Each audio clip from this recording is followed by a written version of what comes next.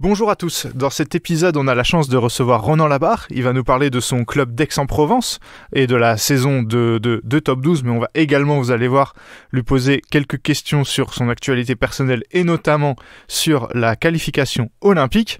Ensuite, on va embrayer sur le débrief de la 9 journée de top 12 et celle du Swiss Open, le Super 300 qui a eu lieu cette semaine avant-dernier tournoi de cette tournée européenne. Tout ça, c'est dans ce nouvel épisode de 21 Shuttle. Badminton at its very, very best.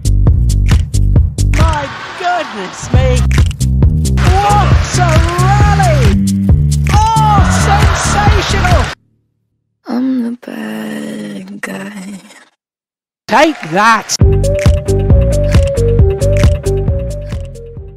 Et donc euh, pour cette euh, pour cet épisode, comme je l'ai comme je l'ai dit, on va s'intéresser plus précisément au club de d'Aix-en-Provence et on reçoit pour cela euh, Ronan Labarre. Salut Ronan, merci merci beaucoup d'être d'être là. Bonjour à tous, merci de me recevoir. Et je suis comme d'habitude accompagné de Benoît. Salut Benoît. Salut Ewan, salut Ronan. Euh, Ronan, d'habitude, bon, on demande souvent à nos, invités de, se présenter, mais toi, je pense que la plupart de nos, auditeurs auditrices te, connaissent déjà. Est-ce que, par contre, tu pourrais, euh, est-ce que les, gens ne savent peut-être pas, présenter un peu ton, ton rôle à Aix et ton, et ton historique, euh, parce qu'on se disait avec Benoît juste avant que c'est quasiment ton, club de toujours, quoi. oui, alors c'est mon deuxième club.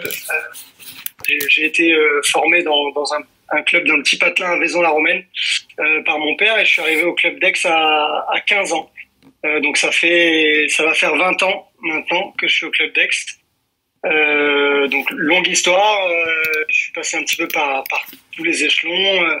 L'équipe de National 2 d'abord, ensuite un, rôle de remplaçant en, équipe de top 12, puis un rôle de titulaire et maintenant depuis deux saisons un rôle de, de capitaine euh, dans, la gestion sportive.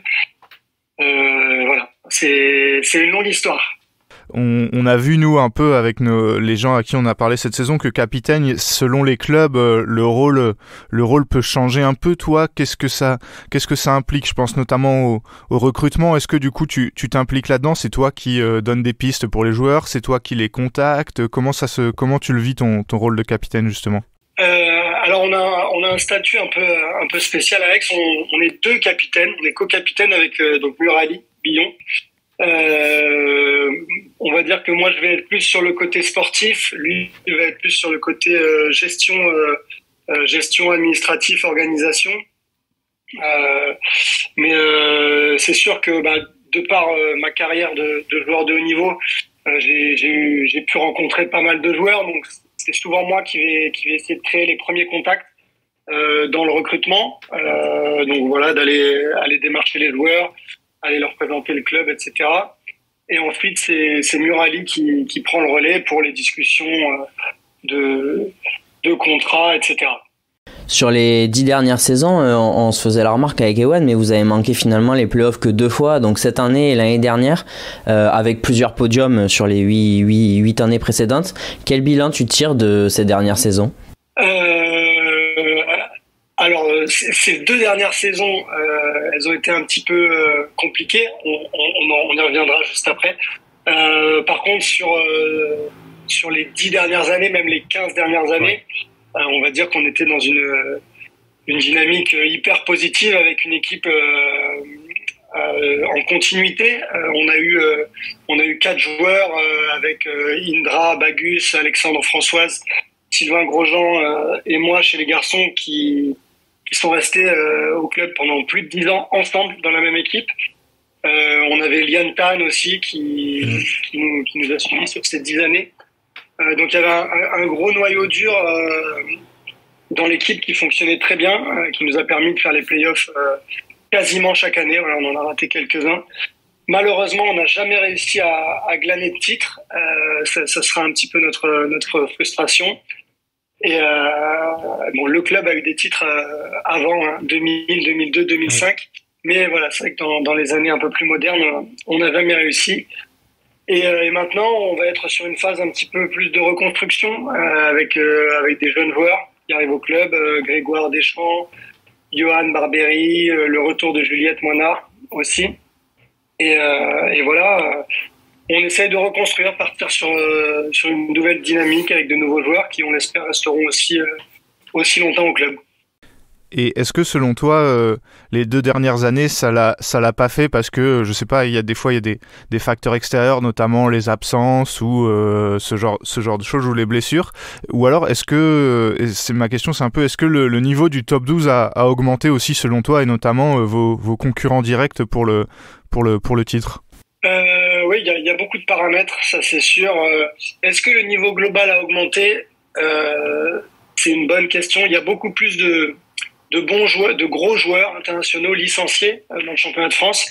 Euh, par contre, euh, on voit que le calendrier international étant de plus en plus dense, il y a, y, a, de plus en plus d'absences sur, sur les journées d'interclub et on se retrouve des fois avec des situations un petit peu farfelues avec une équipe au complet, une équipe en short, si je puis dire.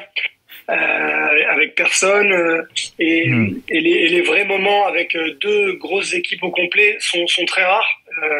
c'est ce qui est un petit peu dommage.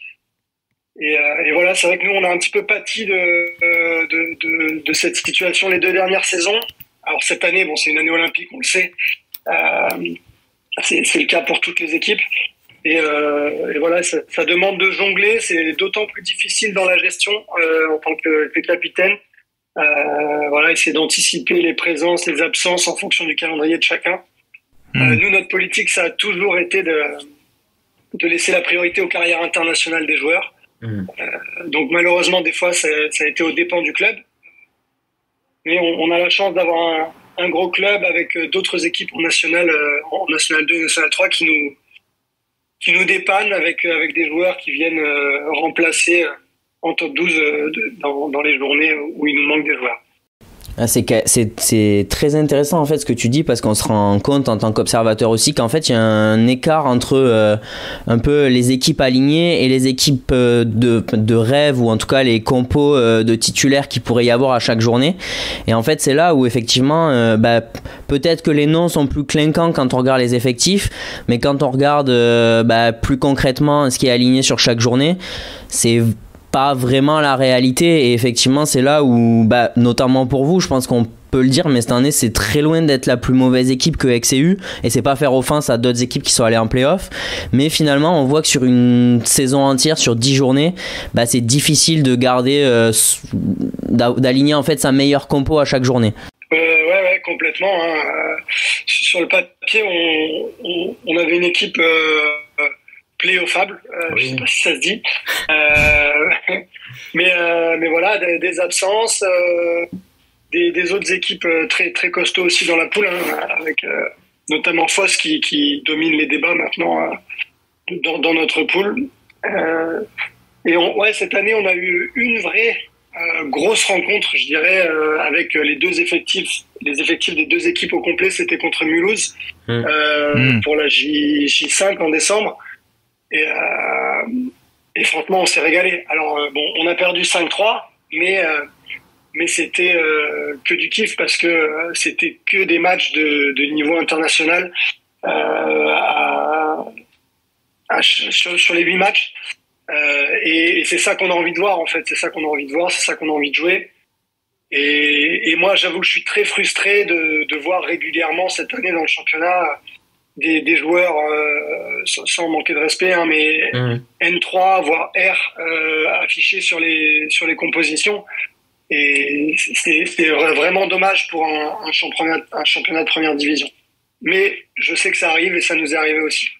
Et justement, euh, quel, quel, alors la saison, euh, la saison est pas, est pas, est pas terminée puisqu'il vous reste, euh, il vous reste une journée euh, face à, face à Mulhouse justement.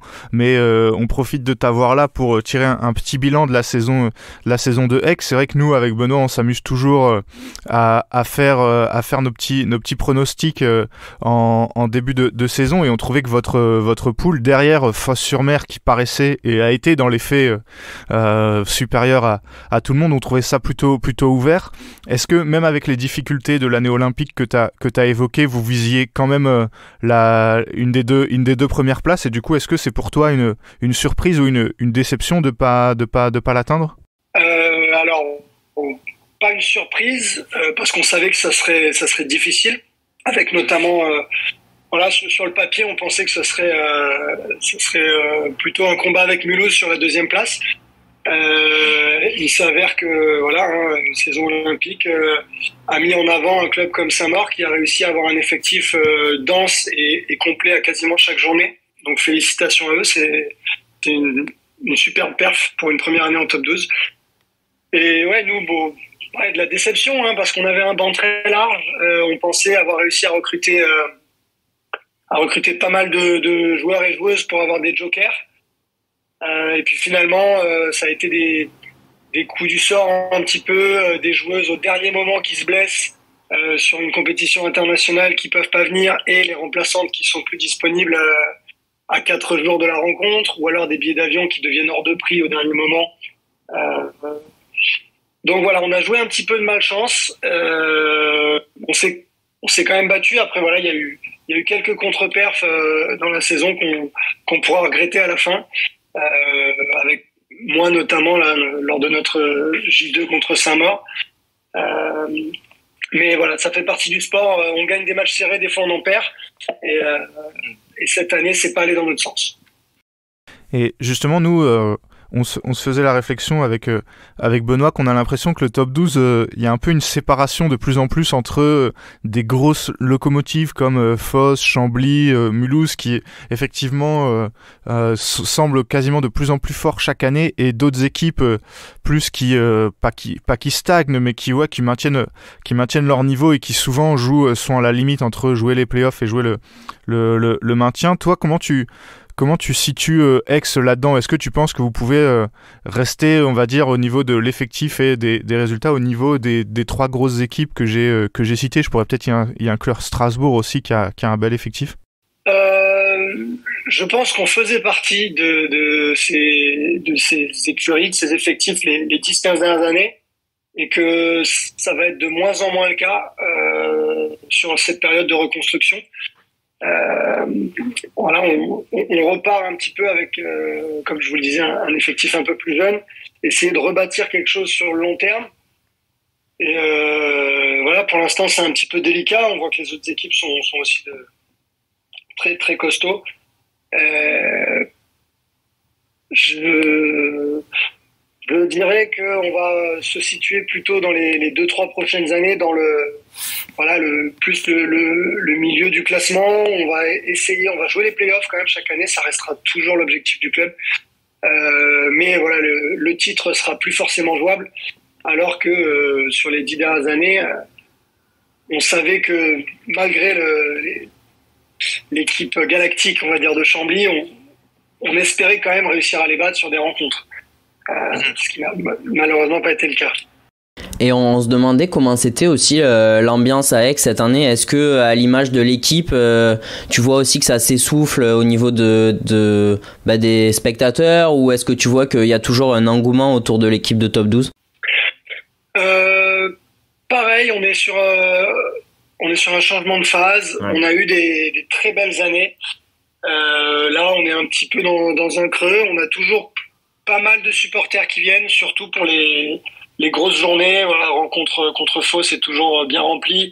Euh, la J10 euh, en fin de saison, en plus, là, Mulhouse, euh, il y aura du monde.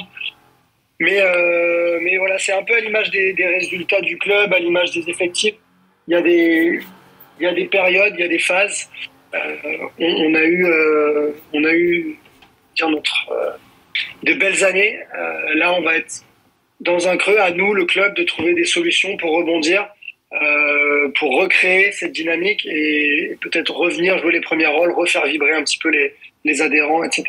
Ah, c'est intéressant que tu parles de, de choses que le, le club peut faire parce que voilà nous on a eu l'occasion de parler à pas mal de, de représentants de club et euh, ils nous ont ils nous ont dit aussi que ça remplir les salles euh, à nouveau et plus que ce que c'est actuellement, ça passerait, euh, ça devait sûrement passer par un, changement de, format du, top 12. Euh, toi, j'ai compris également que tu n'étais pas euh, forcément toujours satisfait de ce que c'est, puisqu'il y a du coup il y a pas mal d'absents et ça donne des équipes à moitié à moitié remplies. Est-ce que tu es, aussi pour ce, changement de, format? J'ai fait partie des, groupes de réflexion sur, sur, les différents formats même en interne, on n'arrivait pas à se, forcément être 100% d'accord tous ensemble.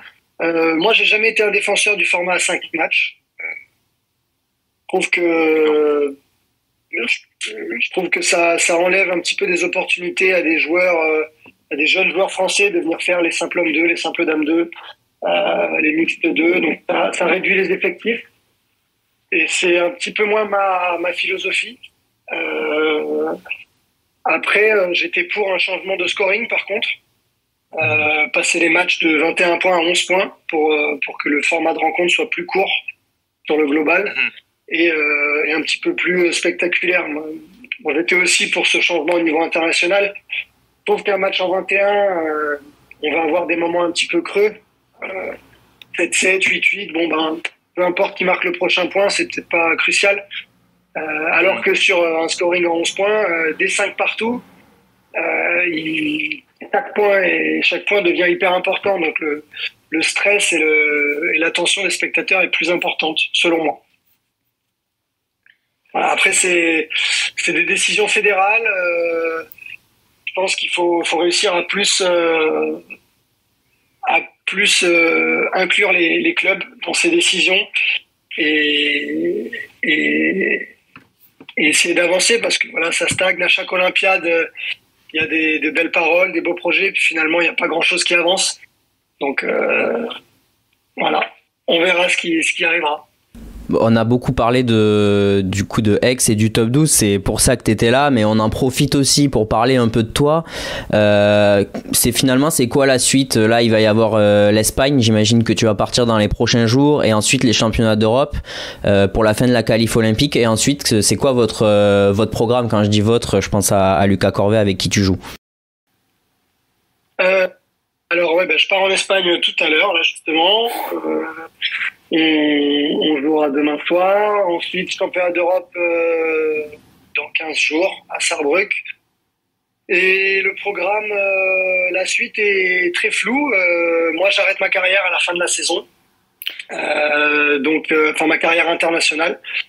Donc, si on se qualifie avec Lucas pour les Jeux, je, je, la fin sera pour fin juillet, début août. Et si jamais, malheureusement, on n'arrive pas à atteindre cet objectif, euh, les championnats d'Europe à Sarrebruck seront mon dernier tournoi international. D'accord. Voilà, pour Lucas, euh, pour Lucas, je ne peux pas me prononcer, vous lui poserez la question à l'occasion. euh, mais euh, étant plus jeune, je pense qu'il a encore des, des années devant lui. Ça, ça, veut dire que tu viendras faire un épisode à la rentrée avec nous pour débriefer ta carrière? Pourquoi pas, avec plaisir, si ça vous intéresse. Ah bah carrément.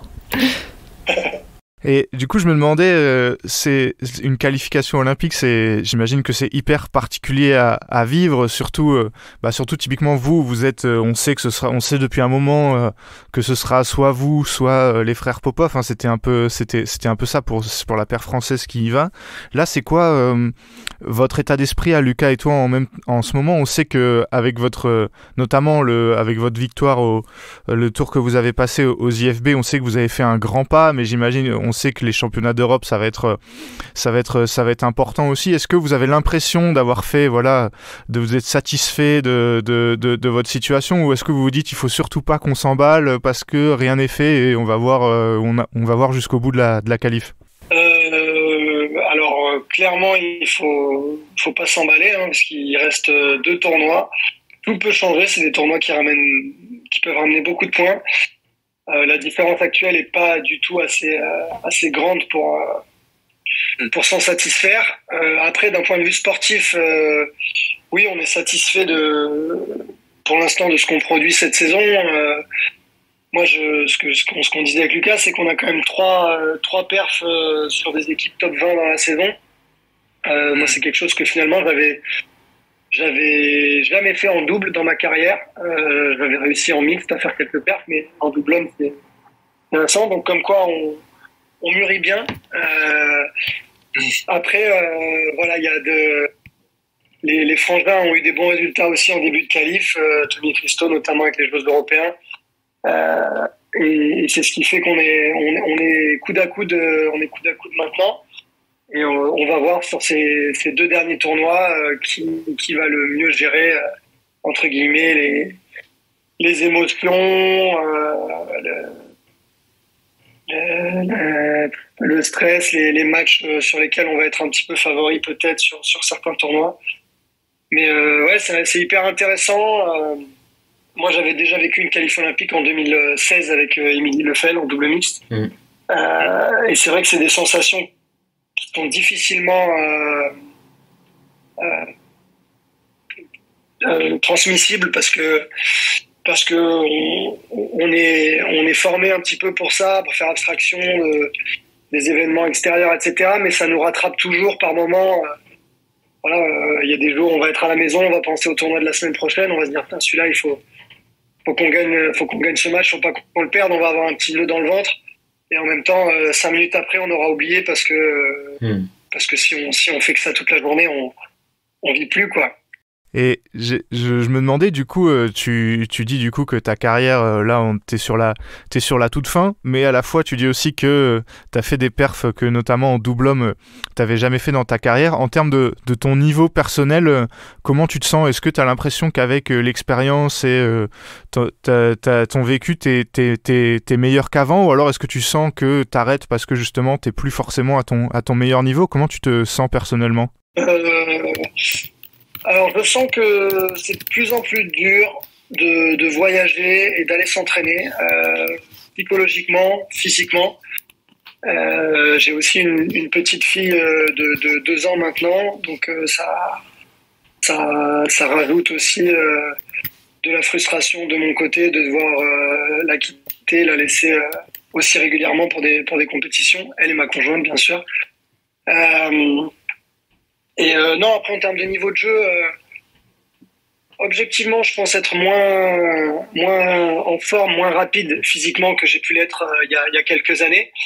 par contre, il y a d'autres qualités sur sur la gestion des matchs, sur les, les, jeux, la lecture du jeu, qui vont compenser. Donc, c'est difficile de dire si je, je suis un meilleur Ronan aujourd'hui qu'il y a quatre ans sur le terrain. Euh, en tout cas, euh, en tout cas, il y a des bons résultats, des bonnes perfs qui, sont encourageantes, euh, qui font plaisir, mais, mais qui ne me pousseront pas à continuer quand même. je, oui, je comprends. Vrai qu'il y a, a j'imagine bien qu'il y y a le terrain, il y a à côté aussi, ça demande, ça demande aussi, aussi, aussi beaucoup. Donc, donc c'est largement, largement compréhensible. Eh ben, c'était notre, notre, notre dernière question. Mais en tout cas, merci beaucoup euh, d'être, d'être venu euh, dans, dans 21 Shuttle euh, pour, pour parler d'Aix-en-Provence et des, et, des, et des semaines à venir pour toi. Puis en tout cas, ben, on, te souhaite, on te souhaite évidemment le, le meilleur. Et voilà, on espère que, ce, que, ce, que ce, ces championnats d'Europe ne seront pas du coup la, la, fin, de, la fin de ta carrière. Merci, c'est gentil. J'espère aussi. En tout cas, il y a, y a, pire euh, si jamais euh, tu arrives à te qualifier de finir sa carrière sur des Jeux Olympiques à, domicile. C'est vrai que ça fait envie. Ça paraît être le meilleur moment en tout cas. Ouais, c'est sûr que si jamais euh, ça finit comme ça, on va dire que ça sera, ça sera un petit peu la fin rêvée. Mais, mais voilà, c'est très loin d'être fait. Et puis, même si ça finit pas comme ça j'arrive à avoir le recul euh, nécessaire pour me dire que il y a, y a 15 ans, j'aurais jamais imaginé avoir, avoir la carrière que j'ai eue. Euh, donc, euh, donc voilà, même s'il n'y a pas de Jeux Olympiques, ça sera quand même une belle épopée. On va s'intéresser nous aux rencontres de cette neuvième journée de Top 12 et on va on va rester tiens dans, la poule euh, d'Aix d'Aix en Provence euh, avec un autre club du sud de la France, Fosse-sur-Mer, leader euh, qui se qui se déplaçait sur le terrain de de de, Mulhouse, euh, Fosse-sur-Mer euh, qui était qui était invaincu jusque là et qui a subi sa première défaite de la saison 6-2 défaite qui s'explique largement en regardant la compo alignée par par Fosse-sur-Mer pas de pas les frères Popov enfin un des frères Popov, en l'occurrence Boris, mais euh, ni ni Christo ni euh, Thomas euh, Junior n'étaient n'étaient présents. Il faut dire aussi qu'ils ont ils ont ça s'explique un peu par le fait que Benoît, tu me diras ce que tu en penses, mais c'est qu'ils ont beaucoup joué dernièrement. Les frères Popov et Fosse sur Mer étaient déjà certains de d'aller euh, d'aller d'aller euh, d'aller en playoff. Du coup, euh, la compo ça donnait Tom Lalo Trécarte propulsé simple 1 et Boris Popov simple homme 2. Ils ont perdu tous les deux largement contre Arnaud Merclé et Mohamed Iqbal. Neslian Higit était là, mais elle a perdu contre Wen Yu Zhang. en simple dame euh, l'autre joueuse turque, Zera Erdem, elle a gagné son simple dame euh, contre, euh, contre Yasmine. et l'autre match gagné par, par sur mer c'est le double dame avec Julie Fine-Hupsen, Neslian Igit qui ont battu Sabrina Ola, Yasmine et Camille Pognante. Pour le reste, Tom Jikel était bien présent, Rodion Alimov aussi. Ils ont gagné le double homme ensemble et chacun a mixte. Tom Jikel a joué avec Camille Pognante. Ils ont battu la paire Lalo Trécart Jacob. Tandis que Rodion, Alimov, il a joué avec Wan Yuzhang et euh, ils ont battu Yile Fine Ibsen. Euh, bon Benoît, j'imagine que tu vas me dire que c'est assez, c'est assez logique. Hein. Foss avait euh, plus ou moins, plus ou moins fait un trait sur cette rencontre, tandis que du côté de Mulhouse, on s'est quasiment, je pense, ramené avec une équipe, une équipe optimale. Il n'y avait pas de, pas de Margot Lambert, mais c'est, quand même une équipe qui avait, qui avait fière allure, donc résultat très très logique, on va dire. Ouais, c'est ça. Il manquait Mia Blichfeld aussi, euh, côté Mulhouse. Maintenant, euh, bon, Margot Lambert a énormément joué. Tu parlais des pop-off, mais Margot Lambert et Antran, euh, même, même combat. ouais, ouais, bah en fait, je vais répéter un peu ce qu'on a dit, mais on, sur cette journée-là, honnêtement, on va le dire beaucoup, mais c'était déjà en fait, il y a beaucoup de choses qui sont terminées et on l'a senti dans les compos de certaines équipes. Et c'est d'autant plus frustrant quand on voit, euh, je sais pas ce que tu en as pensé, mais quand on voit ce qu'est capable d'aligner Mulhouse avec deux titulaires absents, euh, on a hâte une année post-olympique, j'ai envie de te dire presque là. C'est clair. Peut-être euh, à noter si on doit retenir quelque chose de cette euh, de cette journée, la première fois qu'on voit euh, Wen Yu Zhang avec Mulhouse cette cette cette saison et du coup si je peut-être peut-être la, dernière malheureusement on verra pour la dernière journée et Benoît quand même une, belle victoire contre contre Niesli Anigit quand même. Bah, c'est un des rares matchs que j'ai vu ce week-end. honnêtement, très impressionné euh, par le niveau de Wen Yuzhang, même si on la voit euh, sur le circuit. Hormis ce deuxième set, euh, waouh, ouvrir Nesliane Nigit comme elle l'a fait, j'ai été vraiment ultra surpris et se dire que potentiellement dans cette équipe c'est juste un simple dame 2 ok Ouais, voilà, euh, Wen Yuzhang qui a une dizaine de places, euh, qui est 48, je crois que Neslian Higit est 38, donc euh, qui a une dizaine de places au ranking et ça s'est pas forcément euh, pas forcément vu. et Benoît, bon, on va on va un peu on va un peu spoiler, mais euh, quand on voit cette équipe de Mulhouse, euh, quelle tristesse de se dire qu'on va pas l'avoir en playoff. Alors, c'est pas contre les autres équipes qui y vont, mais je veux dire, quand on voit les, les joueurs et joueuses qui peuvent aligner, c'est un peu triste de se dire que, qu'elle n'ira pas, quoi. Bah, bien sûr, je pense que c'est faire offense à personne que dire si t'as cette équipe sur une saison, euh, bien sûr que, bien sûr que ça finit dans le top 2. C'est pas faire offense, surtout pas au VGA, on va en parler, mais, mais oui, cette équipe, elle a, elle a, elle a la gueule d'une équipe qui va au bout, honnêtement, qui fait une finale de, de top 12 ou en tout cas, en tout cas pas très loin. Passons justement au, euh, VGA qui allait faire le boulot en allant euh, en allant s'imposer euh, à, R sur la lisse. pourtant il y avait alors il y avait il y avait une équipe pas trop pas trop dégueu côté côté R sur la lisse. Franchement c'était une rencontre que j'attendais plus équilibrée mais qui a tourné à 7-1 en faveur du, VGA. des gros matchs de simple homme, notamment victoire de Enogarois face au Belge Julien Karagi 21-19 22-20 et celle de Yanis Godin 21-19 troisième contre le, le Malaisien Junwei Cheam. Euh, malheureusement, Roman Kotofuku a dû abandonner euh, contre Anna Tatranova. Pour le, pour le reste, euh, il y, a eu, y a eu pas mal de matchs serrés, notamment celui qui a tourné en faveur du LVA, le double homme, le double mixte 1, pardon, remporté par Louis Ducrot et Yael Oyo contre Eno et Émilie Verselo, 21, 22-20 au troisième.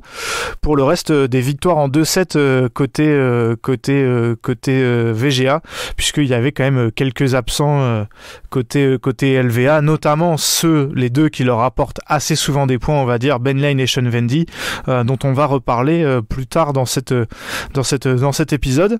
Mais Benoît, est-ce que euh, bah, moi, c'est surtout en fait les, les résultats des deux, des deux simples hommes euh, que, que j'attendais pas forcément dans ce, dans ce sens-là. Et là, je, je, ne, je ne supporte aucun club dans ces, dans ces deux-là, mais en tant que Français, je suis assez content de voir euh, Eno Garwa et Yanis Godin battre Julien Karagi et Junwei Chiam. Oui, tout pareil. Euh, en fait, il y a plusieurs euh, niveaux d'analyse. Le premier, c'est tu te dis, euh, bon, c'est une saison où tout tourne pour le VGA. Alors, oui, ils, ont été très bons et c'est deux mecs plutôt en forme, notamment Enogarois, mais y a, tu peux pas t'empêcher de te dire 21-19 au troisième, 21-19, 20-22. tu vois, enfin, il y a quand même des trucs qui ont tourné dans leur sens. Maintenant, ouais, clairement, quand on est français et qu'on voit la progression d'Enogarois ces derniers mois, même 18 mois, c'est ouf de se dire qu'il bat Julien Caragui qui est pour moi en Europe actuellement un des mecs en forme, qui va sans doute aller au jeu. Euh, et surtout Yanis Godin qui bat Juno H&M. Je vais pas dire que c'est encore plus sorti de nulle part, mais franchement presque. Parce que Enogarois qui sort des perfs comme ça, ok, on le voit plus à l'international à son aise, mais ouais, Yanis Godin et puis même Anna Tatranova qui bat Roman Clotofoucault. Alors oui, c'est un forfait, mais c'est quand même un demi-exploit parce que je pense que Roman Clotofoucault était favorite. Donc ouais, clairement, le VGA a fait plus que le taf à R. Ouais, c'est, c'est clair. Ils, auraient, ils sont même passés pas loin de gagner 8-0 quand tu vois euh, bah à, quoi tourne ce, ce double mixte, euh, ce double mixte 1. Donc euh, ouais, le, déjà bon, on peut le volant roi qui a sa saison qui est terminée depuis bien longtemps, qui continue même sans Lane Vendy d'aligner une équipe plutôt compétitive, on va dire, parce qu'ils sont pas obligés de faire venir Junwei Ham, ils sont pas obligés de venir faire jouer Karagi. Louis Ducrot nous avait expliqué que effectivement à domicile, ils avaient pas envie de décevoir leurs supporters et que c'était pour ça qu'ils le faisaient mais c'est quand même cool. Donc je pense qu'on peut le, hmm. le, le, le, saluer. Et de l'autre côté, ouais, le VGA qui montre qu'ils sont loin, loin, loin de voler leur place en playoff. Euh, on y reviendra rapidement euh, à la fin quand on parlera, euh, quand on parlera classement. du coup, je, oui, en plus le, VGA qui devait, qui devait jouer Talence à la dernière journée et qui voit donc sa saison, sa saison régulière prendre, prendre fin dès ce week-end. Euh, dans l'autre poule, euh, Foss était invaincu jusqu'ici, pareil pour Chambly, mais côté Chambly, ça va continuer. Euh, ça va continuer avec une victoire 6-2 contre Cholet, deux défaites euh, en simple, en simple homme 1, euh, Yann Lauda qui perd le premier set contre Elias Brack et qui abandonne dans la foulée, et le simple dame 1 avec Émilie Drouin qui s'incline face à, Iris Wang 21-14, 21-12, défaite assez, assez, assez logique. Hans Christian Vitingus était là mais a joué simple homme 2 et il a battu Martin Oisan, il a quand même lâché le premier set. 21-18 avant de gagner 9 et 15. Euh, Béatrice Corrales a galéré, mais elle a battu Chouei euh, en simple dame 2, 21-17 au troisième. Pour le reste, euh, sur les quatre doubles, on sait que on sait que Chambly en double c'est ultra solide. Et là, ils ont fait une compo bah, très très simple. Mixte 1, Ellie Smith. Mixte 2, Delru Delru. Double homme, double homme 1, Delru Ellis. Et double dame 1, Delru Smith. Du coup, forcément, euh, quant à ces, ces, quatre, euh, ces quatre joueurs-là, ça passe beaucoup plus facilement. Les corvées, euh, Jordan et Sami n'ont rien pu faire en double homme, tout comme Malena Noran et Shuei en double dame. Pareil pour les deux paires de mixtes, dont le, le, 2, le mixte 2 où Léa Palermo a joué et donc a perdu. Euh, voilà, Benoît, euh, qu'est-ce que tu penses de, cette, rencontre avec euh, Chambly donc, qui, qui gagne sa neuvième rencontre en neuf, en neuf rencontres en fait, neuvième victoire en neuf rencontres oui, c'est ça, invaincu. probablement, on verra la prochaine journée, mais qui pourrait finir la saison invaincu. Pas, pas de surprise là-dessus. Ah, attention, attention à l'enfer, attention, attention ah. Benoît, à l'enfer de Giraudon à la dernière journée, attention. Ouais, l'enfer de Giraudon, ouais, on en reparlera. Euh, je veux pas être vexant parce que j'adore le président de, de ce club. Euh, et toi aussi, je t'adore, je t'apprécie beaucoup, donc ça m'embêterait un peu qu'on se fâche. Euh, maintenant, reparlons de badminton. Euh, non, pas surpris par la victoire de Chambly, mais je pense que toi non plus. Peut-être que Cholet aurait espéré un point de bonus. Euh, très clairement, ça aurait, ça pourra faire la diff euh, après la, la J10. Euh, mais sinon, presque le seul enseignement que je retiens, et je suis curieux d'avoir ton avis dessus, c'est que vu les perfs d'un Christian Vitingus, il se peut, si j'étais camblisien, pardon, que je réfléchisse à l'amener au playoff. Et oui, bah déjà le fait qu'ils perdent deux fois en simple homme 1 et que là maintenant euh, Lauda est beaucoup, est beaucoup plus fait le boulot et le relais en simple homme 2 et que en plus euh, même si Martin Oisan est un bon joueur, mais qu'il lui prenne un set, euh, ça montre qu'on a quand même pas toujours un très bon Vitingus, quoi. Et ça, ça paraît bah, logique maintenant de le mettre en simple homme 2, je trouve. Et puis il y a des mecs, malgré tout, qui parlons chiffres, vont coûter moins cher que lui à amener au playoff Et est-ce qu'ils sont moins bons? Je pense à Thomas Rouxel ou, ou à Sacha Lévesque. la question, je trouve qu'elle se pose.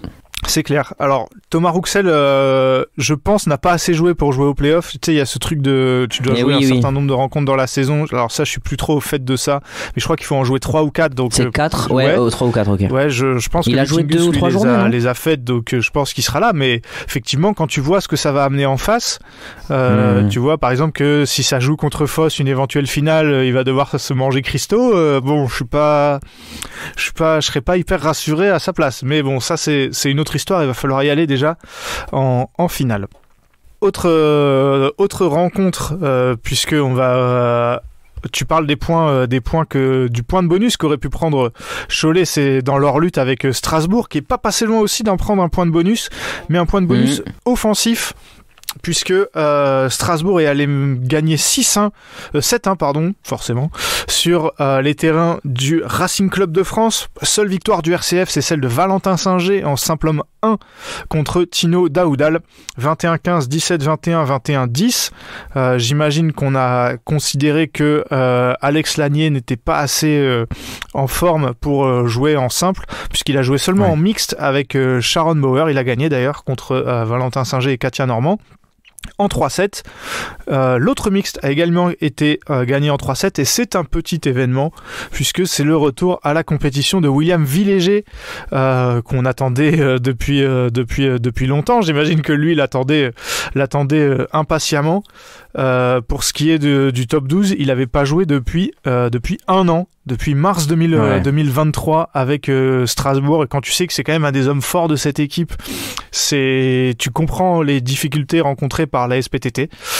Mais il a gagné du coup Mm. en double mixte avec Victoria Vorobeva contre contre Quentin Ronget et Vimala Herrio. Le RCF était privé de Antran puisqu'elle avait joué vendredi, la veille donc, en Suisse, comme, comme Margot Lambert. Et ça a été euh, très facile pour William Villéger dans son autre match avec le double homme, avec Nathan Bega. Pareil pour le double dame, Sharon Bauer, Victoria Vorobeva. Et euh, Rosie Pancassari a galéré pour battre, euh, elle a perdu un set contre Georgina Ellenblen, mais l'a gagné. Malia O'Haro, ça a été plus facile pour elle contre Katia Normand. Voilà, Benoît, je, je t'écoute. Attention à cette équipe en playoff. Oui, oui, je m'avance. Le point de bonus, en, fait, c'est là où je voulais dire qu'il aurait pu manquer, mais le fait que Cholet le rate aussi de son côté, euh, peut-être que ça fera la diff que les deux ne l'aient pas eu finalement. Euh, je pense que Strasbourg a fait un grand pas vers les playoffs, si tu me permets le, si tu me permets l'expression, et je suis curieux de savoir ce que toi t'en penses parce que cette équipe, avec le retour de William Villéger, là, euh, Alex Lanier n'était pas là euh, pour jouer le simple en tout cas, mais il était là. Euh, lui, a priori, il ira pas au jeu. William Villéger non plus. On peut imaginer que Kaloum Hemming non plus. Euh, on peut imaginer que Strasbourg vienne en playoff, s'ils y sont évidemment, euh, avec une équipe euh, beaucoup plus solide que d'autres, avec des joueurs qui auront pas envie de venir se cramer euh, à quelques mois des jeux ou de se faire mal. Donc euh, ouais, je... attention Strasbourg. C'est clair, même si, euh, si j'ai toujours bien compris la règle, William Villéger pourra pas les jouer les playoffs, euh, puisqu'il n'a pas joué de la, de la saison. Après, je sais pas, honnêtement, si vous le savez, euh, auditeur, auditrice, s'il y a une règle spéciale pour les blessures, dites-moi si William Villéger peut les jouer. Pour moi, selon Ouais, la je règle, sais pas, ouais. il, ne, il, ne, il ne peut pas. Sinon, je suis d'accord avec toi. Euh, même si, bon, pour moi, Strasbourg, ça, même à effectif vraiment complet, ça reste un ton en dessous de Fos et Chambly. Oui. Mais euh, c'est vrai que là, tu vois qu'ils ont une, une belle équipe. Et pour euh, répondre à ta question, pour moi, c'est fait. Euh, on verra avec le classement, mais je les vois mal euh, trébucher, euh, trébucher euh, à la dernière, euh, à la dernière journée contre Marom à domicile et perdre euh, cette, euh, cette, cette place. Ça a été une saison un peu chaotique pour, euh, pour Strasbourg. Et euh, mais finalement, euh, finalement, cette lutte, on va dire à quatre équipes, qui a longtemps été à quatre équipes, euh, a priori euh, devrait, euh, devrait, devrait tourner pour eux puisque dans la dernière euh, rencontre, euh, Arras était encore plus ou moins euh, dans la course. Mais, ça, ne passera pas puisque défaite des Arajois à Marom, justement. l'équipe normande qui prend sa première victoire de la saison. Pour l'instant, ils avaient fait un nul et que des défaites. Là, ils ont gagné 6-2 avec pas de double dame qui s'est joué. On, vous allez voir que euh, Arras est arrivé avec une équipe très très très très diminuée, pas en simple homme où c'est leurs deux euh, leurs deux titulaires qui ont joué, en l'occurrence Toby Penty qui a battu euh, Marius Reboul Alexandre. Léo Van Gisel lui était là mais a perdu contre Daniel Nikolov. L'autre point gagné par le BCA c'est Marie Batomen qui bat Juliane Piron en simple dame pour le, en simple dame 1. Pour le reste, euh, Émilie Lefel, euh, dont ce n'est pas la spécialité, ça ne vous pas échappé, a, gagné, joué en simple dame 2 et a failli gagner, mais a perdu en 21-18, 23-21. Victoire facile pour euh, Marom en double homme, en double mix 2, un peu moins facile on va dire, mais c'est passé. Et victoire un peu plus à l'arraché en double mixte 1. Julien Maillot et Camille Gauguin ont battu Léo Van Gisel, Marie Batomen. Benoît, je pense que c'est une rencontre sur laquelle euh, j'ai le moins de choses à dire, puisque même si Arras c'était encore mathématiquement possible, je pense qu'ils savaient que ce serait euh, impossible et avec l'équipe euh, alignée, ça s'est ça vu. Côté Maron, ils savent qu'ils vont descendre, mais je pense qu'ils doivent être très contents d'avoir pu prendre cette victoire qui qui est qui est en plus, je pense, je trouve méritée. À part ça, j'avoue que j'ai pas grand chose à rajouter qu'est-ce que tu veux en dire? Enfin, je veux dire, oui, il savait sans doute. Euh, enfin, quand tu vois que tu viens même pas avec une équipe complète, euh, oui, tu, de toute façon, euh, tes ambitions, elles sont restées, elles sont restées à la maison aussi. Donc, ouais, il s'en doutait hmm. sans doute. maintenant, c'est vrai que, encore une fois, on le dit, et autant que j'apprécie Arras, autant d'autres clubs, mais quand tu viens avec une équipe pas complète, alors il y a des raisons, hein, ça c'est sûr, mais voilà, pour l'image d'un championnat de première division, imaginez demain si vous vous suivez la Ligue 1, j'en sais rien moi, Toulouse ou, ou euh, Lorient qui arrive avec 9 euh, joueurs ou 10 joueurs pour jouer une rencontre de première division, c'est des trucs qu'on n'a plus envie de voir, donc euh, ouais, c'est toujours dommageable. Hmm. Oui, non.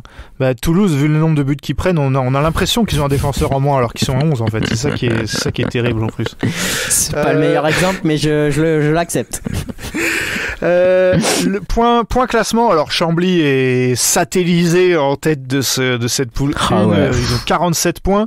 Là où on dit que Strasbourg a fait un très grand pas, c'est qu'ils ont 30 points, c'est-à-dire 2 points d'avance sur Cholet, euh, qui en a 28, qui a lui-même 2 points d'avance sur Arras, 26 RCF 25 et Marom 12.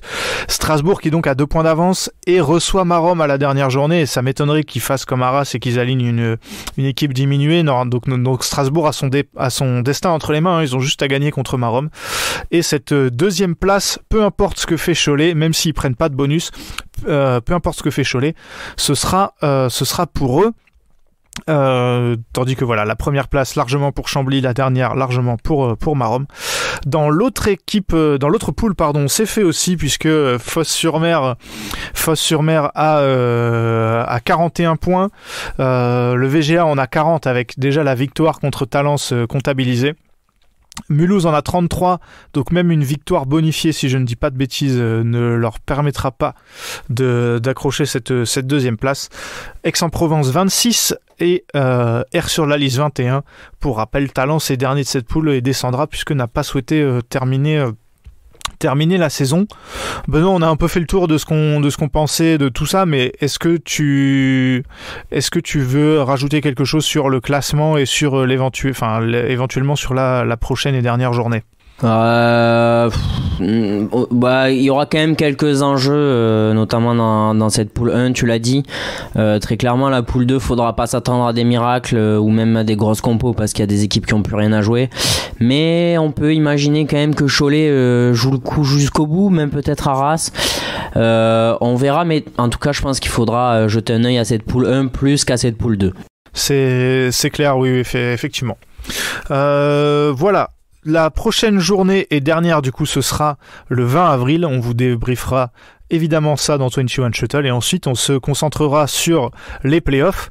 Mais a priori, du coup, les affiches de ces playoffs, on les connaît euh, plus ou moins déjà. Ce sera Foss contre le deuxième de la poule 1, donc euh, potentiellement Strasbourg ou éventuellement Cholet, tandis que Chambly affrontera le, le VGA et tout ça, ça se passera justement à Chambly.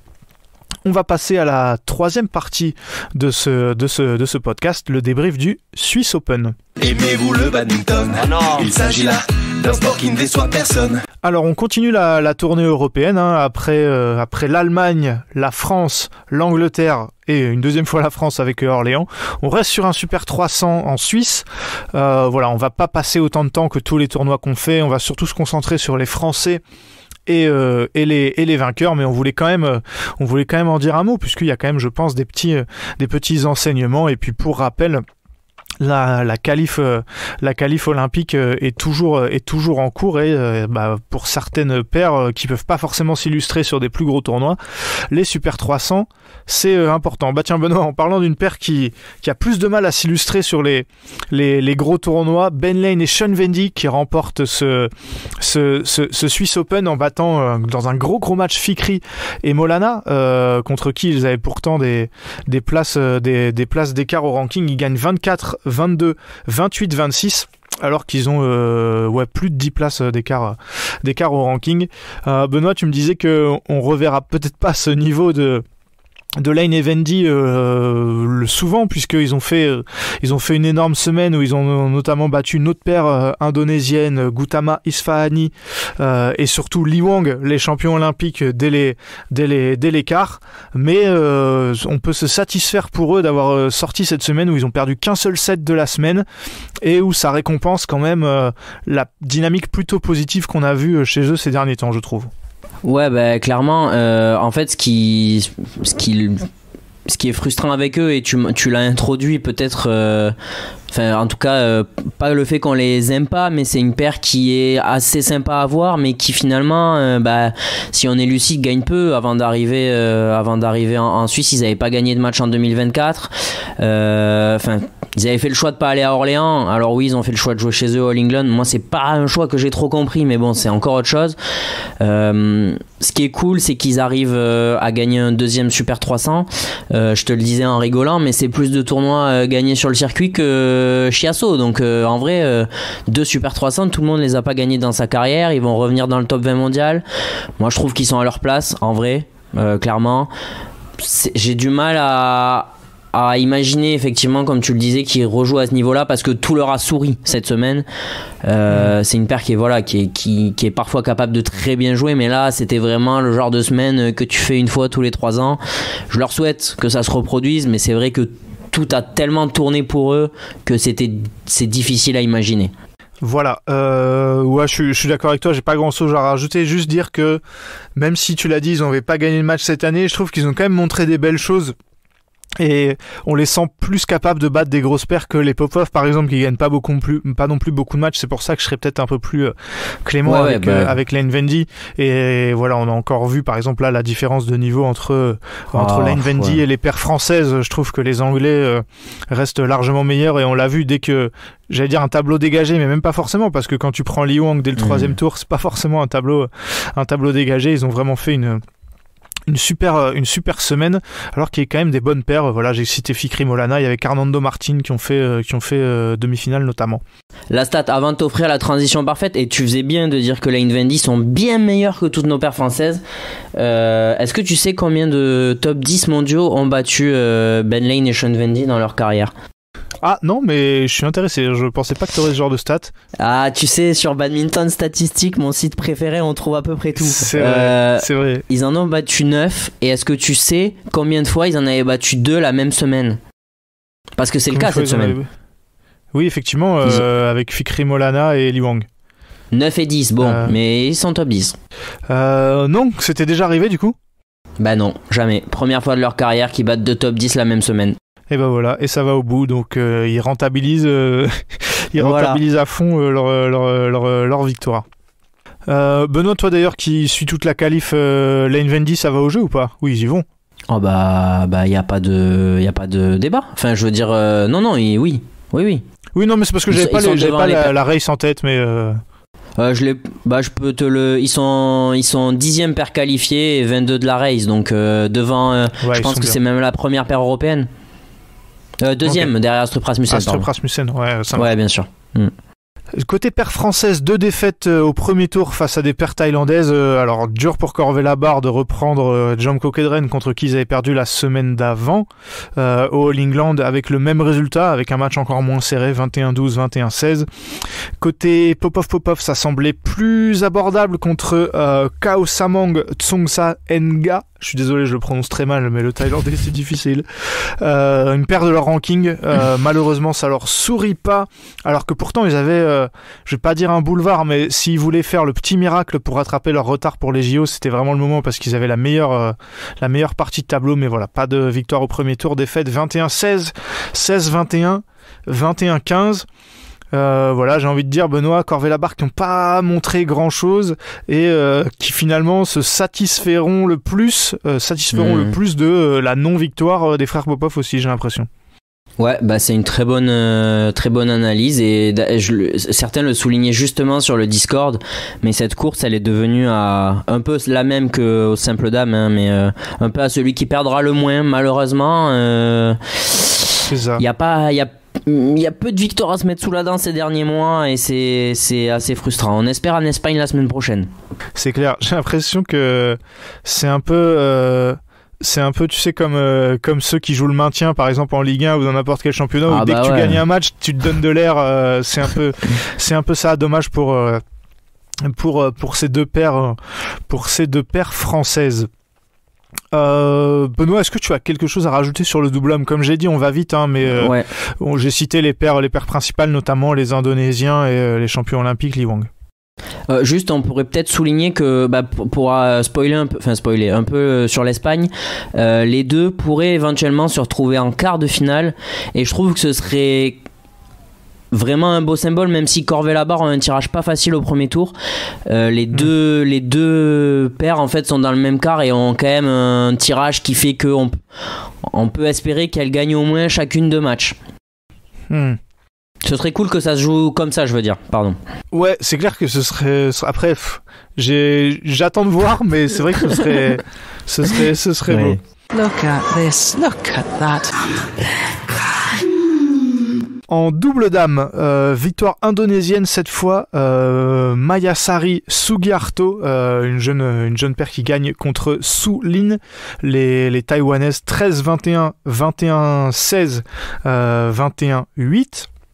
Donc euh, les Indonésiennes qui avaient, euh, qui avaient non j'allais dire pardon qui n'ont pas gagné euh, à Orléans c'était une autre paire une autre paire indonésienne mais il y a de la il y a de la il y a de la profondeur dans, les dans l'Indonésie même en même en double dame maintenant puisqu'elles ont notamment battu les patronnes du double dame indonésien à, savoir Rayu Ramadanti en demi-finale 23-21 au troisième. Donc petite surprise quand même de voir de voir cette cette victoire.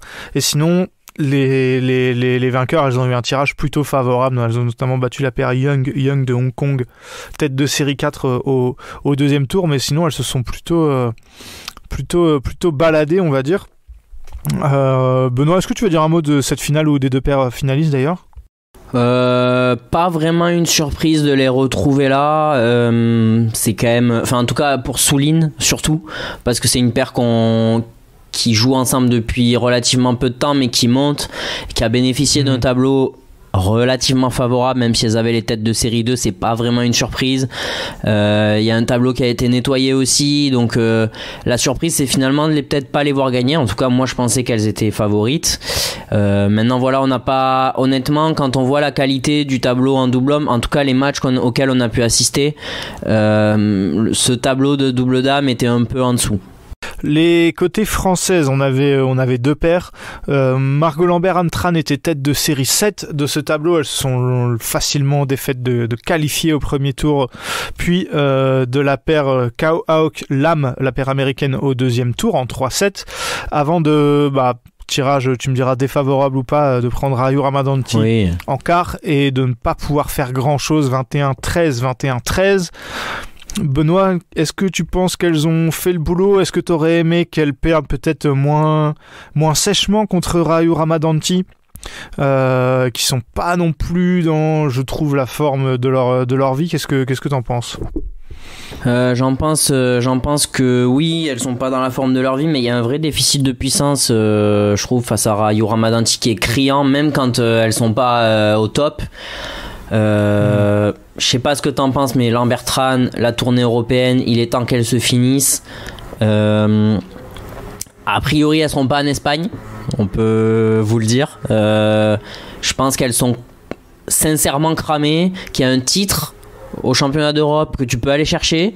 On va pas se cacher derrière ça non plus. Elles peuvent aller le chercher. Je pense qu'il y a des priorités. Tu sais que tu vas aller au jeu. Euh, bon, ça fait partie aussi de ces calculs-là dont on a parlé euh, la semaine dernière quand on parlait du All England ou d'Orléans. Je pense qu'aujourd'hui, il y a des calculs qui doivent se faire pour Margot et Anne et bah, je pense que l'Espagne et, perdre contre Ayo Ramadanti, ça peut en faire partie. C'est ça. On ne dit pas évidemment qu'elles ont qu'elles ont fait exprès de perdre ce match. C'est pas c'est pas ce qu'on dit. Mais je suis, là où je suis d'accord avec toi, c'est que qu'elles aient perdu euh, ça ou 21-19 au troisième, au final elles ont perdu. Et euh, c'est effectivement je pense les championnats d'Europe c'est vraiment l'échéance majeure pour elles et avoir un peu de repos ça leur fera peut-être pas de pas de mal. Si elles sont championnes euh, d'Europe, toi et moi on l'aura oublié. Hein. Ah, c'est clair que ce, Spain Masters, on l'aura bien, bien, bien oublié. Oui, oui. L'autre paire française euh, qui s'est sortie des qualifs contre euh, une troisième paire française, donc je parle de Elsa Jacob et Camille Pognante, qui ont battu euh, Marie Césari et Lilou Schaffner en qualif en 3-7. Et derrière, malheureusement pour elles, dès le premier tour, elles prennent, elles prennent les futurs finalistes Souline et elles s'inclinent 21-16, 21-10. bah Benoît, je suis un peu déçu parce que j'aurais aimé les voir euh, peut-être contre d'autres paires de ce tableau, mais en vrai, il y avait très peu de paires qui étaient euh, prenables pour elle, je trouve, euh, à moins de tirages extra favorables. Ouais, même tirage extra favorable, tout était compliqué quand même. Hmm. Je suis assez, ouais, je suis assez, je suis assez, d'accord avec elle, mais avec toi. Mais de toute façon, on aura l'occasion de les, de les revoir. Euh, à n'en pas douter. Voilà, tu parlais d'un des championnats d'Europe. Euh, Fregard Tigesen, elles, elles ont trouvé une bonne technique pour se réserver, c'est de perdre dès le premier tour contre euh, une paire, euh, une jeune paire, une paire, une paire indonésienne. Euh, j'ai vu que ça en parlait sur le Discord. J'ai pas pu être très présent cette semaine, mais j'ai à un moment j'ai vu que euh, ça parlait de euh, Mapasayu, les, les Australiennes, qui ont passé euh, trois tours. Elles ont battu les Chinoises Kang Zhang, puis les têtes de série 3 Kusuma Pratiwi, les Indonésiennes, puis Jolie Poulela, les Indiennes, qui sont pourtant pas dans une forme trop dégueu, qui étaient également tête de série. Finalement, elles perdent après contre Souline. Mais moi, franchement, Benoît, je les avais vues jouer aux IFB. Elles avaient perdu contre bah, contre Matsuyama Euh, franchement, je, trouve que ça joue vraiment pas mal. Souvent, les paires en Océanie, voilà, euh, il y avait un peu Gronia Somerville qui jouait pas trop mal, euh, mais c'est tout. mais c'était un peu tout. Et là, là, franchement, je, trouve que cette paire a un petit un petit potentiel quand même, et ça fait ça fait plaisir. Bah, tu fais bien d'en parler parce que justement, je voulais, je voulais répondre à François déjà. Je, je lui ai répondu sur le Discord. Il nous demandait si une paire d'Océanie avait déjà gagné trois matchs consécutifs face à des paires asiatiques. Oui, c'est le cas. C'est Tiana Mapaza avec Gronia Somerville. Euh, donc euh, elles, elles ont fait les jeux, euh, les derniers jeux à Tokyo. C'était clairement une paire top 25 mondiale tous les jours. Et après ça, c'est Tiana, c'est Tiana Mapaza pardon a pris sa retraite. Donc euh, gros coup dur pour mm. Somerville qui a tenté euh, qui a tenté euh, deux reconversions avec une ancienne une joueuse de de simple. Ça a pas marché. Kathleen Hey maintenant. Et en fait ce que je trouve assez terrible c'est que c'est Tiana Mapaza elle est sortie de sa retraite avec une autre partenaire que Somerville. Alors on sait pas ce qui se passe en coulisses et tout hein. Mais c'est elle qui va aller au jeu. Somerville ne va pas y aller. Euh, c'est c'est au-delà de d'avoir gagné trois matchs consécutifs euh, bah, face à des paires euh, face à des paires asiates en double dame Somerville qui va aller au jeu qu'en mixte alors que son tableau c'est le double dame. C'est je mm. pense assez dur dans la tête Ouais, après je sais pas comment ça se passe parce que je sais que par exemple Gronia Somerville, on la voit s'entraîner régulièrement en France et tout. Je pense qu'elle doit être, elle, doit être assez plus indépendante peut-être que les autres. Je sais pas trop euh, si elle est un bah, peu à jouer quand même ensemble. Euh, ouais. Oui, oui, non, c'est vrai, t'as raison. Euh, en tout cas, pour les avoir, pareil, le sentiment que j'avais eu aux IFB, je trouve que même si m'a passé effectivement à jouer à un haut niveau avec Somerville, je trouve que c'est plutôt Angela Yu qui m'avait fait plus, plus forte hmm. impression et que j'ai trouvé qui était beaucoup moins fébrile et qui portait plus la paire. mais après, c'est un feeling sur sur deux matchs. N'hésitez pas à me dire si vous en avez un euh, si vous en avez un différent. Voilà, euh, il y avait aussi Krastoponapa dans les têtes de série, autre paire euh, indienne qui a perdu dès le deuxième tour contre Hirokami Kato, une paire, une paire japonaise. Pour le reste, pour le reste, Benoît, j'ai pas grand chose, pas grand chose à rajouter. Donc je t'écoute si c'est le cas pour toi. Non plus. On va donc passer au troisième tableau, le simple homme. Oh my goodness! Simple homme euh, entre Taïwanais, euh, cette, cette finale. Euh, Li Cheni qui bat Shu Tianchen. notre ami Shu Tianchen que vous connaissez très bien, qui menait quand même 21-7, 20-16 euh, et qui a réussi à perdre ce match qui a dû lui donner euh, un peu mal à la tête, on va pas se mentir, puisque c'est finalement Lichoni qui s'impose 7-21, 22-20, 23-21. Voilà, le troisième set a été, euh, a été extrêmement serré. Benoît, on parlait, on parlait vite fait de, de, de, de Shu Tianchen avant de, d'enregistrer, mais c'est vrai que c'est un peu son niveau, c'est un peu une énigme parce que là, il fait quand même une semaine euh, où il sort Christo Popov, Jeon Yokjin, euh, Rajawat, Rasmus Gemke, euh, et même en finale, il paraissait quand même très bien. Finalement, il arrive à perdre ce match alors que le mental, c'est quand même pas trop des trucs qui lui faisaient défaut avant. C'est, c'est un peu dur de le, de, le situer en ce moment, Shu Chen. Ouais, ouais, c'est clair. Il y a quand même un côté. J'ai joué ma vie cette semaine. il a probablement assuré sa qualif pour Paris. Euh, même si Lichuni prend le titre et du coup s'offre peut-être la possibilité avec une grosse semaine en Espagne et éventuellement une belle semaine au championnat d'Asie de l'accompagner. En tout cas, on se dit qu'aujourd'hui, remplacer Shu Tianchen, euh, ça devient quasiment un miracle. Il y aura 5000 points d'écart euh, mardi. Euh, voilà, moi, pour moi, Shu Tianchen, c'était un peu en mode, euh, tu sais, le, dernier, le dernier cri, quoi, un peu euh, cette semaine, euh, plus que un truc à analyser vraiment sur la durée. Ouais, mais c'est ce qui me surprend parce que souvent, Shu Tianchen, tu l'as dit, il joue sa vie, mais il joue sa vie jusqu'au bout, il joue pas sa vie jusqu'à ce qu'il ait volant de match, tu vois ce que je veux dire? Ouais, c'est rare qu'il perde des finales comme ça. Hmm. Après, c'est peut-être c'est peut-être un peu anecdotique, mais c'est quand même étonnant, voilà, de le perdre, de le voir perdre cette, euh, cette finale. De son côté, Lichoni, il a, dès le premier tour, il a mis pied au plancher en battant Loki New. Derrière, il bat son compatriote euh, Chi Yu-jen, puis euh, Magnus Johannessen, euh, Kidambi Srikant, qui lui aussi a fait une, semaine assez sympa. Et enfin, euh, Shu Tianchen. On y reviendra juste après, mais d'abord, on va parler des, des, des, des Français, puisqu'ils étaient quatre le seul à avoir passé un tour, pas forcément celui qu'on attendait, Benoît, tu, euh, vu le, au vu du tirage hein, évidemment. Tu me diras si tu es d'accord, c'est Alex Lanier puisqu'il affrontait Koki Watanabe, euh, le, le, japonais qu'on avait notamment vu au All England puisqu'il avait joué les deux pop-off et Alex Agnier qui s'en sort. 22-20, 18-21, 21-19 un match euh, un match bien long euh, comme euh, comme on les aime et qui a été qui a été difficile notamment dans ce dans ce troisième set où le français où le français était mené 19-16 à la fin il revient un peu de, de de, nulle part, on va dire. Euh, Benoît, c'est une victoire qu'on n'attendait pas forcément, mais elle fait d'autant plus plaisir, et surtout vu la, vu la manière, parce qu'Alex Lanier, mine de rien, avec ses blessures et tout, on l'avait pas tant vu jouer que ça ces derniers temps, et ça fait plaisir de voir qu'il a encore, euh, bah encore, mm. en tout cas en ce moment, il a, il a des matchs comme ça euh, dans, les, dans les jambes, quoi. Bah c'est un énorme plaisir, euh, surtout que je pense qu'il lui, a besoin aussi de ces matchs-là, comme Christo en a eu besoin euh, il y a quelques mois maintenant. Euh, la transition en fait sur le circuit senior à ce niveau-là, en tout cas Alex Lanier il la débute à peine hein, finalement, donc prendre une victoire contre Koki Watanabe qui est plutôt en forme en ce moment.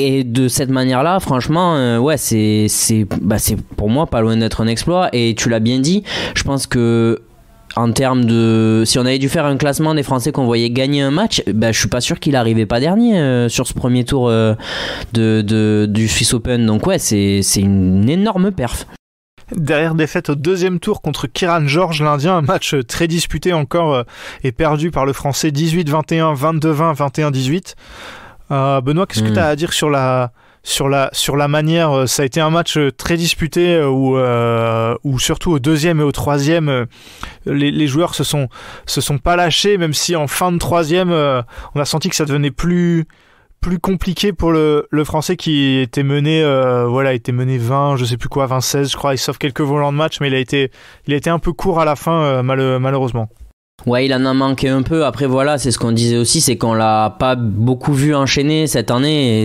on voit aussi que ça lui coûte un peu dans ces matchs-là, parce que même dans le deuxième, il perd 22-20, mais il n'y a pas de volant de match. Il est globalement toujours un tout petit peu derrière.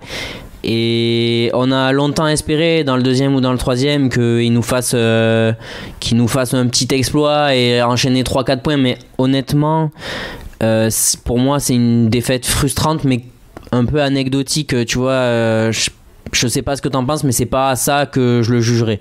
Non, c'est clair.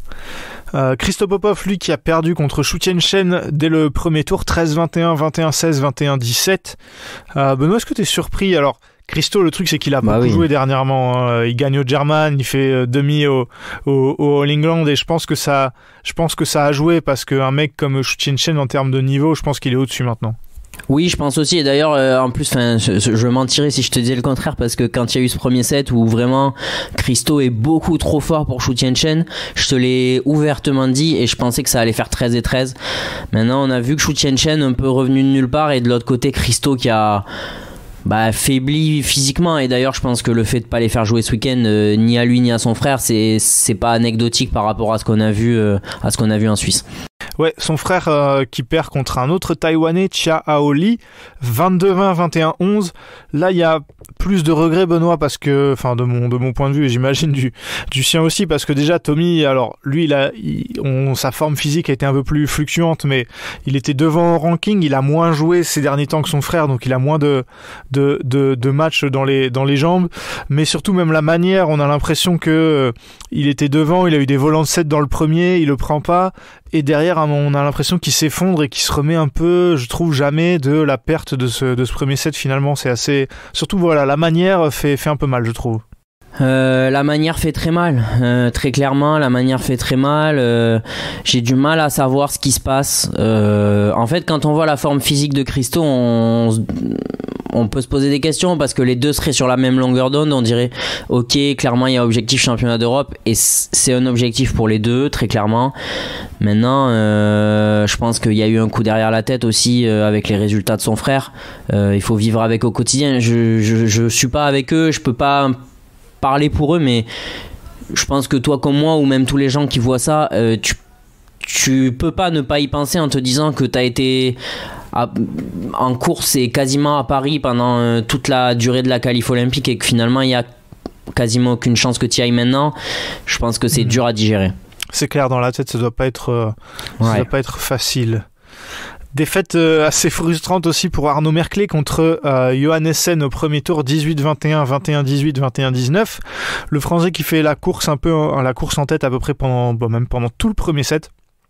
Et pendant hmm. le deuxième, il a failli euh, nous offrir un scénario assez fou. On a eu finalement ce scénario, mais qui a pas tourné dans le bon sens puisque Arnaud Merclé est largement mené. Il fait une belle remontée jusqu'à mener 18-17 et finalement il prend une série de points euh, qui fait qui fait vraiment mal. Et euh, pour le coup, c'est lui qui est en tête dans ce troisième set. Il mène pendant très longtemps et il craque à la fin.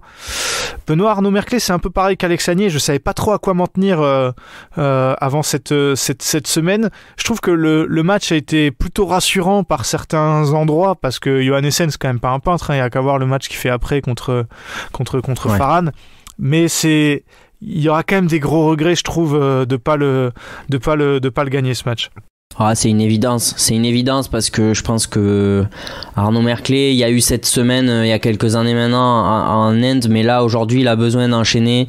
Et je pense qu'en vrai, quand tu vois le mec qui va au bout, j'ai rien contre Lichuni, je pense qu'aujourd'hui, oui, il est meilleur qu'Arnaud Merclé. Maintenant, euh, je ne suis pas convaincu qu'il soit plus talentueux ou ce genre de truc. Et je pense qu'Arnaud Merclé, il aurait besoin d'enchaîner des matchs il, est, le sent aussi parce que bon, ce match-là, il le lâche aussi quand il y a une décision d'un juge de ligne cataclysmique, mais qu'il a été pour les deux joueurs. Et tu sens que lui aussi il sent qu'il est sur un fil et qu'il manque pas grand chose pour aller chercher cette semaine de ouf. Donc c'est toujours très dur à digérer euh, je trouve les défaites d'Arnaud Merclé en ce moment. Ouais je suis assez assez, je suis assez d'accord euh, limite, j'ai ouais, j'ai hâte d'être dans l'après-jeu euh, pour euh, pour voir un peu au ranking ce qui va ce qui va se passer pour lui. Voilà pour les quatre Français côté tête de série. Lizidia qui avait pourtant été rassurant. En Angleterre, perd au deuxième tour contre Kidambi, 16 et 15. Euh, Lakshya Sen, pareil, qui était sur une bonne dynamique, perd au deuxième tour contre Chaoli. Alors Lakshya Sen, je le pardonne un peu plus facilement parce qu'il sort d'une tournée européenne, notamment et en France et en Angleterre, plus que rassurant rassurante. J'ai perdu, j'ai parlé de Lokinyu déjà, défaite au premier tour. Tsuneyama, défaite au premier tour. Benoît, je crois que tu as une petite stat sur notre ami Kanta Tsuneyama? Euh, C'est une stat que je t'ai donnée en off? C'est une stat que tu m'as donnée en off, ouais. oh putain, je m'en souviens pas, il va falloir que tu la donnes. Euh, bah, le fait qu'il ait gagné zéro match cette année, tout simplement. Eh ben c'est super, il est en roue libre, c'est vrai. Voilà, 14 et 12 contre, contre, contre Farhan. Euh, son compatriote Nishimoto lui a passé un tour mais a perdu contre Gameke. Euh, Gameke qui était pas tête de série hein, parce qu'on sait qu'avec ses blessures il est pas mal, euh, pas mal redescendu. Euh, il fait quart avant de perdre contre Shu Tianchen. Et je crois que la dernière tête de série que j'ai pas citée c'est notre ami l'inconstant Lee Chuk-yu qui a perdu dès le premier tour contre Rajawat. Voilà pour le, le, le, le simple homme. On va pas traîner et passer au tableau suivant, le simple dame. Quand je prends le volant, c'est pas pour jouer badminton, Alors là, on va aller, euh, je pense, assez vite puisqu'il n'y avait malheureusement pas de française. Euh, Carolina Marine va chercher ce titre, tête de série 1 contre tête de série 2 en finale puisqu'elle a battu l'indonésienne Toon Young. Match assez, assez dingue, Benoît, quand même. 21-19, 13-21, 22-20 en finale. Carolina Marine qui a longtemps été menée, euh, qui a dû sauver un volant de match, qui a été, je trouve, ultra, ultra solide et assez clutch comme elle sait le, elle sait le faire. Et mine de rien, même si évidemment cette semaine en termes de niveau, c'était pas le All England puisque les quatre fantastiques du simple dame, en, en l'occurrence Han Se-young, Tai Swing, Chen Yufei et Yamaguchi n'était pas présente, mais ça fait quand même deux titres en deux semaines euh, pour l'ami Carolina Marine. Ouais, euh, bah, très clairement, et je vais te dire ce que j'en pense. Le niveau a pas été le même, peut-être qu'All England pour elle, même pour ses adversaires. Mais euh, franchement, très sincèrement, je pense que je me serais contenté d'une demi-finale pour hmm. la simple et bonne raison que je t'aurais dit déjà qu'elle était capable d'enchaîner. ça, elle l'a plus fait depuis 4 ans, Ewan. Ça fait 4 ans que Carolina Marine n'a pas gagné deux tournois la même année et deux tournois de façon consécutive. Euh, c'est assez ouf et je trouve que même la semaine dernière après le All England, euh, on n'espérait pas tant finalement. Mais moi je pensais, pour te dire, je pensais qu'elle allait même pas jouer cette semaine. Voilà. Au final, je pense qu'elle a besoin aussi de se prouver. Hein. Ouais, c'est. En fait, moi, je suis totalement d'accord avec toi. J'ai envie de dire, le niveau de Carolina Marine, ce qui est c'est même pas le plus important. Pour moi, c'était est-ce qu'elle va tenir? J'avais, en regardant son tableau, je me suis dit, oula, ce troisième tour contre Kim Gaon, ça sent quand même la fin de d'invincibilité sur deux semaines. Tu vois ce que je veux dire? Ça sentait vraiment ah le bah tour un peu piégeux. Finalement, elle s'en sort 19 euh, et 18. Après, je me suis dit, alors après, c'était le match euh, des joueuses qui ont beaucoup enchaîné, puisqu'elle jouait Miyazaki, euh, la jeune japonaise qui a gagné à Orléans elle euh, s'en sort, elle s'en sort 18 euh, et 12 euh, en vraiment en, faisant passer le plus dur dans, ce, dans, ce, dans ce premier set. Et voilà je l'ai dit après contre contre Young 22-20 au troisième. Ouais je pense que le plus important c'est que elle puisse enchaîner.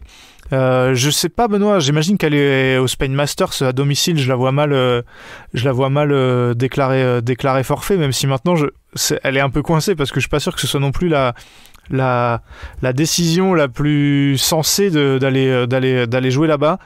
En tout cas, hmm. euh, elle nous montre qu'elle revient, euh, qu'elle revient à un niveau, un niveau très intéressant. Bon, elle était de série 1 et je sais pas si elle va aller jouer en Espagne, mais bah, en tout cas, je pense que le, bilan des deux semaines, il est très bon.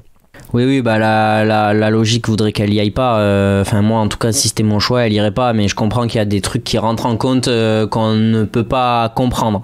Voilà, exactement. Et c'est vrai que quand on l'a vu se faire sortir au premier tour des IFB, si on nous a dit qu'après elle allait enchaîner 10 victoires sur deux semaines, euh, on n'y aurait pas, euh, pas tellement cru. Hmm. Euh, de son côté, Toon tête de série 2, elle a battu Wen Shisu, Nguyen, Shoshumong, Okuara, qui fait quand même une belle semaine aussi, Nozomi Okuara, puisqu'elle va jusqu'en demi en battant Intanon au premier tour, euh, Wen Yuzhang dont on a parlé tout à l'heure pour le top 12, Zhang Beiwen au deuxième, au troisième tour, et avant de perdre contre contre contre Young dans les dans les l'autre l'autre japonaise euh, avec qui elle en lutte pour la qualif Ohori a passé deux tours avant de perdre contre euh, Miyazaki la jeune la jeune pépite japonaise qui a aussi battu une des joueuses en forme du moment PV Sindhu l'indienne qui gagne le premier tour assez facilement, mais qui donc perd contre Tomoka Miyazaki. 16-21, 21-19, 21-16. Pour le reste, voilà, Benoît, j'ai mentionné Kim Gaon, j'ai mentionné euh, Ori, donc euh, quasiment toutes les têtes, euh, de, série. Je t'écoute s'il y a un cas sur lequel tu veux t'arrêter un un peu plus en détail. Oh, ben peut-être Tomoka Miyazaki quand même, euh, qui je crois a battu euh, cette semaine. Il faudrait vérifier. J'ai pas, voilà, j'ai pas, j'ai pas fait mon taf, mais euh, je crois qu'elle a battu la première top 10 de sa carrière. et voilà, j'ai pas fait mon taf, mais mais il me semble que c'est le cas et je trouve, enfin faudra voir euh, dans le temps, mais là, sur quelques semaines, je trouve que c'est l'ascension est assez folle, même si le Japon l'avait préservé aussi. C'est pour ça qu'on l'a pas vu à ce niveau-là mm. euh, trop. Mais euh, mais ouais, en quelques semaines, elle nous a montré que bah, sa place, sa place, c'était c'était déjà au minimum dans le top 20 mondial. Et et franchement, je dis minimum, c'est grand minimum. Ouais, moi je veux pas avoir l'air de, m'emballer, mais à sa place, je prends des tickets pour Los Angeles en 2028. Après, je. Ouais, je pense que le Japon les a déjà pris pour elle. Je veux pas m'emballer, hein, non, mais je pense que tu peux mettre son nom sur le, sur le billet, pour moi c'est fait. Hein. Est-ce qu'elle sera pas top 5 de la qualif pour euh, Los Angeles? Peut-être que si. Hein.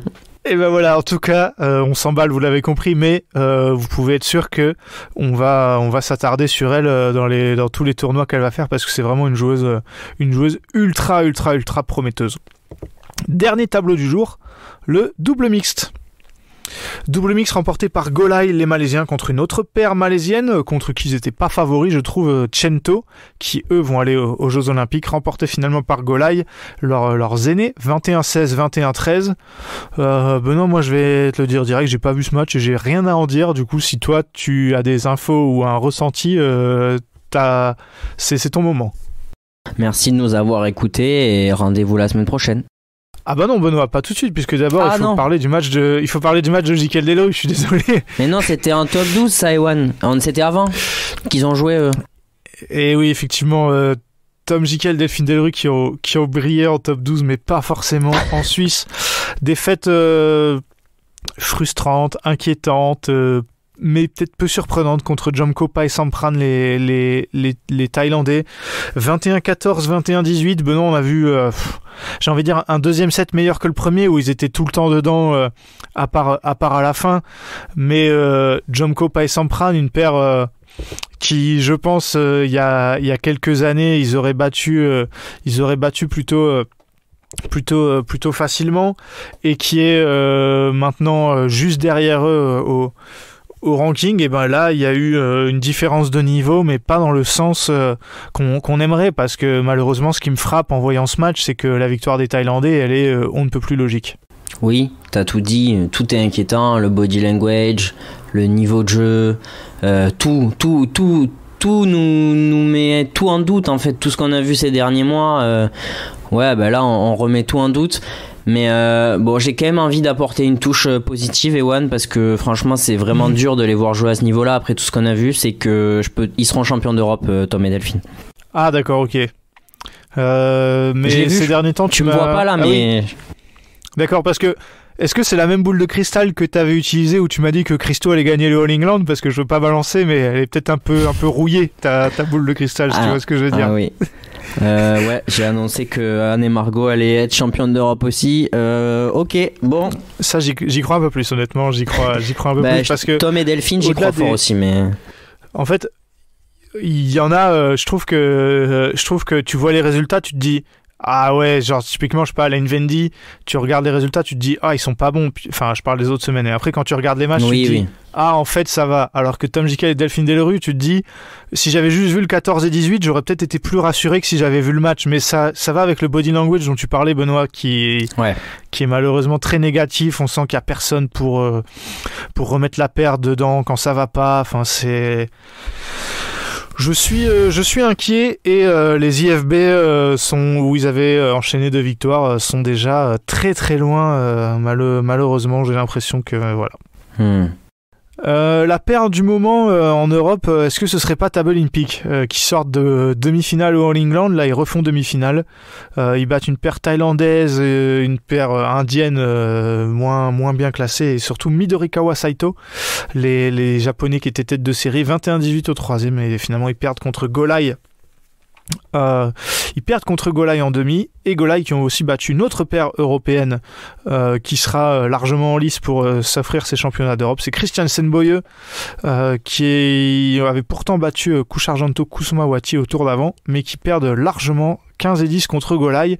Golai qui mine de rien font quand même une sacrée, une sacrée semaine et notamment sans perdre, sans perdre un set sur le quart, la demi et la finale. Je sais pas ce qu'ils avaient mangé Golai, mais mais mais ils font, ils ont été très très très autoritaires. Pour le reste, Benoît, j'ai pas grand chose à en dire. Pas de tête de série, euh, pas de de série 1. Des têtes de série 2 qui ont joué un demi-set, en l'occurrence Poivaronukro, Taira Tanacha, et avant de, d'abandonner, je pense que là, on est plus sur de la, sur de la, sur de la stratégie. Ellie Smith, déçu de les voir perdre 12 et 10 contre Ferdinand Widjaya, alors que je trouve que dans le jeu, ils étaient pas si mauvais sur euh, ce début de, de, de, de tournée européenne. Sinon, voilà, j'ai pas grand chose, euh, pas grand chose à rajouter. Bah comme euh, tu me l'as tu me l'as suggéré Ewan, je viens de créer le tableau pour les Europes là et donc j'ai mis euh, comme tu m'as dit Christian Boyeux, Ellie Smith, Tabling Peak et j'ai aussi pensé à mettre Susso dans la même partie de tableau. Comme tu me l'as demandé. Je sais pas si on peut le dire mais je l'ai enfin je viens de le faire là. Euh, exactement. Pour moi, Tabling Peak favori, hein. favori de ces Europes, voilà. Je, je balance ça comme ça. S'ils restent sur leur, sur leur, sur leur dynamique, c'est solide. voilà pour ce, ce, Swiss Open, on est allé vite parce qu'en dehors des Français, voilà, le niveau était. Euh, on sent qu'on arrive déjà en fin de tournée. Je pense que ce sera encore plus le cas en Espagne la ah semaine, euh, la semaine, la semaine prochaine.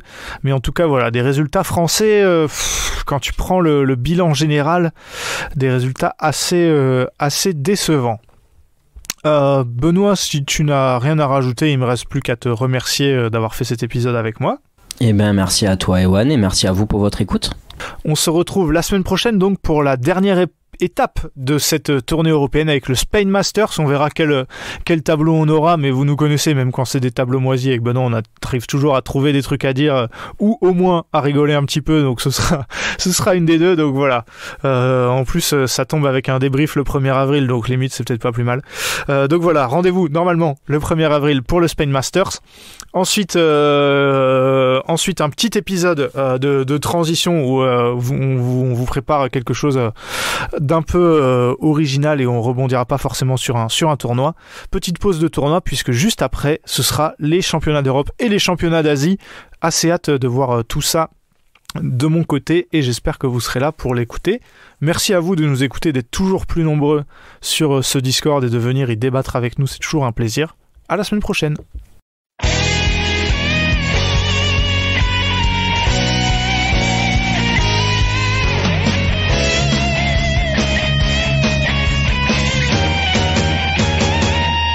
绽放我们激情的节奏，把那束缚抛开的时候，共同感受这片天空带给我们的自由。挥动你我坚强的双手，努力奔向成功的尽头。我们的梦握在手中，绝不等候。是否在经历着平凡的